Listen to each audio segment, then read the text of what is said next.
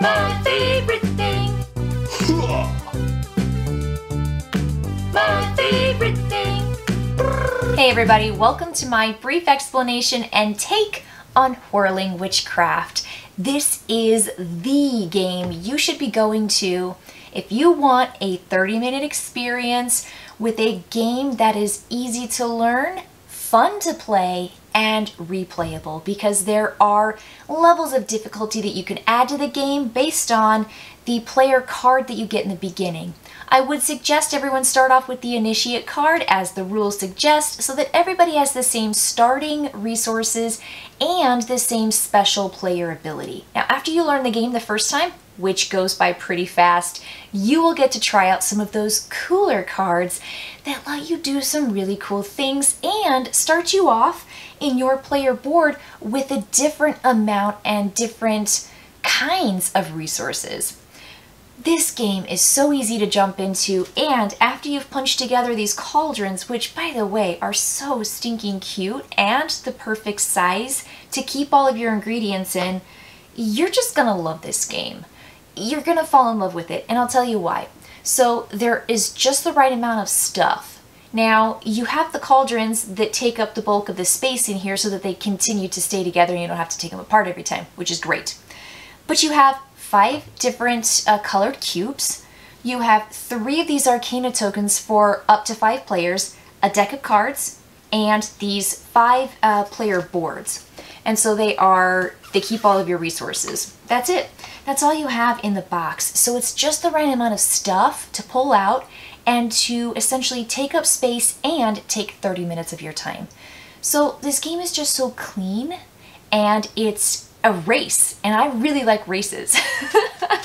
uh, so you are racing to essentially overload the witch to your left and get them to kind of explode their pots so that the overflow that you give them comes back to your spot and you want to collect five overflow cubes.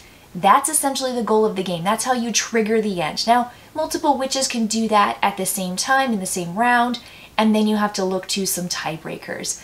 But that's the race in the game, and it's fun. Now, the other cool thing about this game is that you pass your cards to the person on your right.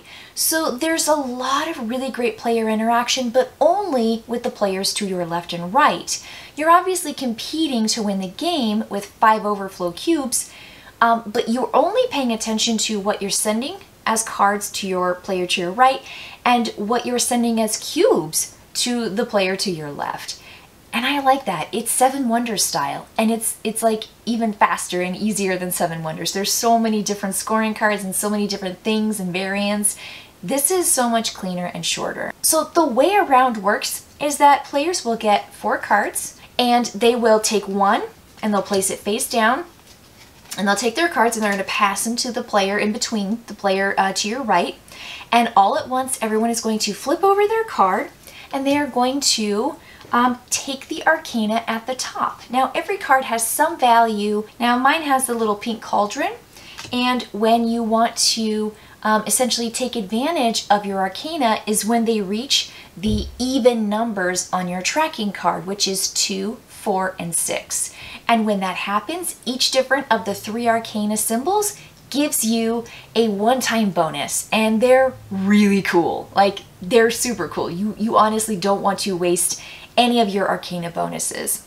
That three-step process is the study phase, and there are only two phases in a round. So again, you select a card, you place it face down, you reveal it, and then you take the Arcana symbol. Those three steps. Now everyone's doing this simultaneously, which means that gameplay goes really fast. And it's super easy to do. Everyone just does their thing and then they say, okay, we're ready to brew. And then you move on to the brewing phase you will produce all of your ingredients. And what that means is you will take a look at the top part of the card. That's the requirement. You must have that in your player area to put on there to activate to then gain from the general pool what's underneath it. So if I want to activate lava incantation, I will need a black cube, and that will grant me a black, a green, and a blue from the general supply to place into my cauldron. Everybody has a cauldron. Now the stuff you gain at the bottom of your card is what you put in your cauldron. Once you have activated all of your cards, discarded the one you paid from your own personal supply and gained what you get at the bottom from the general supply, you take your cauldron and you pass it to the witch to your left. They are going to have to take all of the cubes that you generated and place them into their personal supply. This personal supply area is your workbench and your workbench can only take a certain number of cubes in each color. Once you have exceeded that amount of cubes, those cubes are returned to the witch that sent them to you and they are placed in this top circle at the uh, top of their player board. This is your witch's circle. That's where you want to get five ingredients. Again, because you have overloaded the witch to your left. Obviously, the witch to my right is sending me their cauldron, and I'm going to have to accommodate all the cubes that they send me. Once players check to see if there is a winner or not, if they have triggered that five cubes or more in the witch's circle, um, we move on to the next round. And all you do is take the cards that that player sent you from your left, they pass them to their right, you pick up the three and draw a new card from the draw pile, add it to your hand, take one card, place it face down, flip it over, get the arcana, then you move into that brewing phase, and you can activate as many cards as you can. And you can only activate them if you have them in your personal work area, which is your workbench. Phases go by so fast, rounds go by so fast, everything is simultaneous, and it's really just this puzzle. How can I get the right cards to get rid of the cubes that this witch is sending me so I can get cubes on my cauldron to send that witch to overload that witch? And it's really fun. It's just so straightforward and it's puzzly. And there's card drafting, which is a great mechanism. And you're really dealing with just how can I deal with these cubes, make these cards, and make best use of my arcana symbols. Don't forget about how powerful and opportune those powers can be on your turn because if you need one more cube to overwhelm your, the witch to your left, the pink cauldron allows you to add one ingredient from the supply to your cauldron as though you had crafted it in your recipe card. Ah, so cool. These recipe cards are awesome and the advanced witch cards are even cooler.